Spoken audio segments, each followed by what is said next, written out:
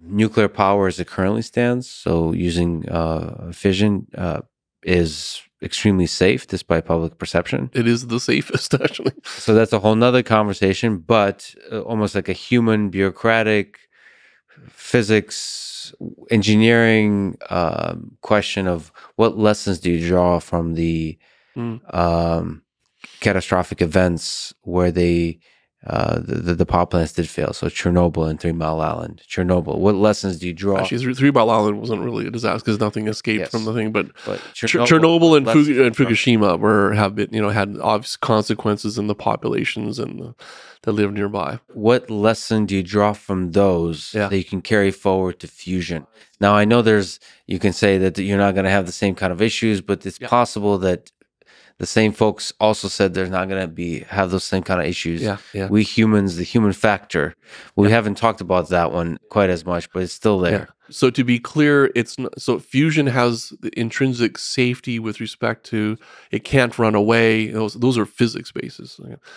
Technology and engineering basis of running a complex again anything that makes large amounts of power and heats things up has got intrinsic safety in it, and by the fact that we actually produce very energetic particles. This doesn't mean that there's no radiation involved in ionizing radiation, to be more accurate in fusion. It's just that it's in a very different order of magnitude, basically. So, what are the lessons uh, in in fusion? So, so one of them is make sure that you're looking at aspects of the holistic environmental and societal footprint that the uh, technology will have. As technologists, we tend not to focus on these, and particularly in early stages of development. Like we just want something that works, right? But if we if we come with just something that works but doesn't actually satisfy the societal demands for safety and for dispose, I mean, we will have materials that we have to dispose of out of fusion. Just this is, but there's technological questions about what that looks like. So will this look like something that you have to you know put in the ground for a hundred years or five years, like? And the consequences of those are both economic and societal acceptance and so forth.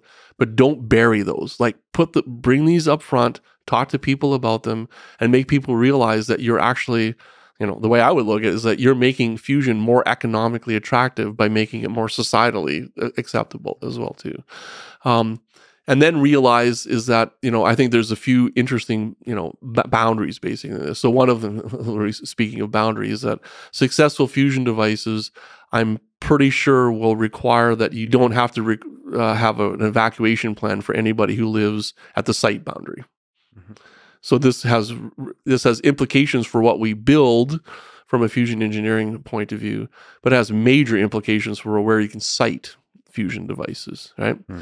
So in many ways, it becomes more like, well, you know, we have fences around, you know, industrial heat sources and things like this for a reason, right? For per- personal safety. It looks more like that, right? It's not quite as simple as that, but that's what it should look like. And in fact, we have research projects going on right now at MIT that are like trying to push the technologies to make it more look like that. I think that those are key.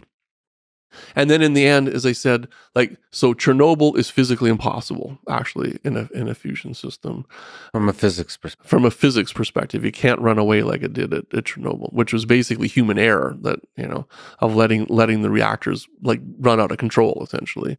Human error can still happen nuclear f- uh, with fusion based Yeah. reactors. So, but in that one, if human error occurs, then it just stops, and this is done. And all of those things, this is the requirement of of us as technologists and and, and developers of this technology to not ignore that dimension, uh, in fact, of the design. And that's why, m- me personally, I'm actually pouring myself more and more into that area because this is going to be. I, I actually really think it is an aspect of the economic viability of fusion because it clearly differentiates ourselves and also sets us up to be about what we want fusion to be. Is that again on paper, fusion can supply all of our energy, like all of it. So this means I want it to be like like really environmentally benign. But this takes engineering ingenuity basically to do that.